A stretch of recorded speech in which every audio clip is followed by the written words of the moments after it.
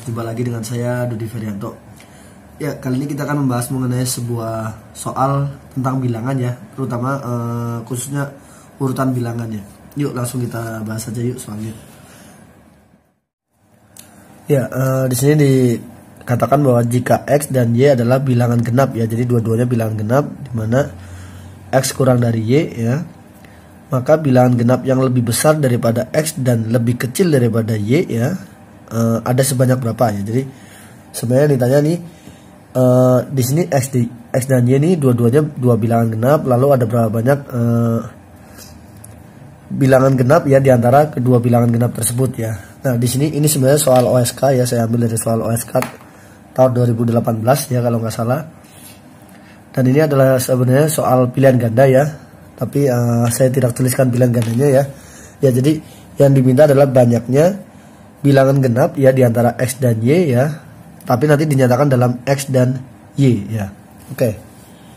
Ya. Jadi karena x dan y bilangan genap kita misalkan kita misalkan uh, x sama dengan 2 2m ya, lalu y sama dengan 2n ya di mana di mana di sini m dan n adalah bilangan bulat ya. Oke. Okay. Karena tadi dikatakan bahwa x lebih kecil daripada y ya maka kita misalkan uh, n-nya ini sendiri sama dengan m ditambah k. Yang di mana k bilangan bulat ya nah sekarang kita lihat ya. Uh, misal kita buat sebuah garis bilangan seperti ini. Di sini adalah x ya x atau 2m ya tadi ya kan. Lalu di sini adalah y y atau 2n gitu ya kan. Di sini kita katakan uh, di sini ada 2 m ditambah 1 gitu ya kan? Lalu bilangan yang di sini setelahnya adalah 2 m ditambah 2 bilangan berikutnya adalah 2 m ditambah 3 dan seterusnya ya. Nah karena ini tadi 2n di mana n sama dengan m m ditambah k ini berarti sama, sama saja 2 uh,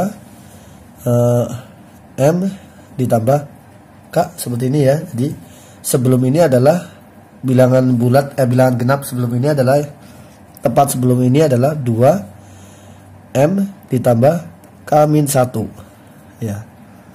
Nah jadi ada berapa banyak bilangan genap e, di antara 2M dan 2M plus K ini?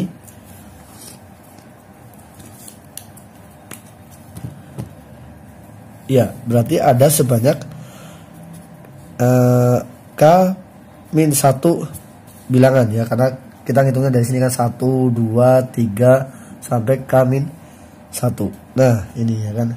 Jadi ada sebenarnya k min 1 bi bilangan. Nah kita mau nyatakan dalam x dan y ya. Nah k di sini berarti tadi dengan kita ubah lagi menjadi n dikurang m ya. Jadi ini n dikurang m dikurang 1 ya. Sedangkan n sendiri dengan setengah y.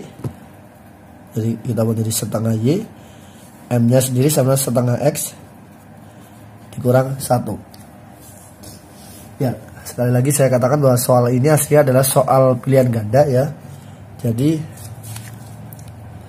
eh, kebetulan pilihan ini masih belum ada ya tapi yang ada ketika kita ubah menjadi seperti ini ya. Jadi ini sama dengan Y min X min 2 per 2 ya. Jadi banyaknya bilangan genap di antara X dan Y ya dua bilangan genap X dan Y itu adalah bisa dirumuskan sebagai X min Y dikurang 2 per 2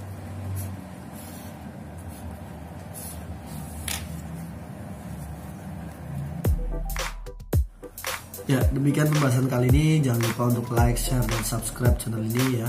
Uh, sampai jumpa di pembahasan-pembahasan yang lainnya.